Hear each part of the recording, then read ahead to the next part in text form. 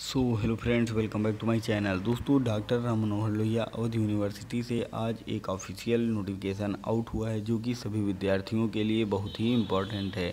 तो इस वीडियो को आप पूरा देखिए, और यदि आप भी डॉक्टर राम मनोहर लोहिया, अवध विश्वविद्यालय से जुड़ी कोई भी छोटी से बड़ी खबर जानना चाहते हैं तो वीडियो को लाइक करें और चैनल को सब्सक्राइब करें।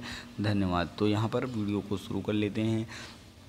यहाँ पर आप देख सकते हैं कृपया अवगत कराना है कि उत्तर प्रदेश शासन उच्च शिक्षा अनुभाग तीन द्वारा निर्गत पत्र संख्या अठारह, सत्रह, छियासी, फला फला फला, दिनांक चार अगस्त 2021 छायाप्रति संलग्न द्वारा कोविड 19 के सक्रिय केस में निरंतर कमी के दृष्टिगत प्रदेश के राज्य विश्वविद्यालय, निजी विश्वविद्यालयों एवं महाविद्यालयों में भौतिक रूप से पठन पाठन पुनः दिनांक 16 आठ 2021 से आरंभ किए जाने के निर्देश प्राप्त प्रदान किए गए हैं।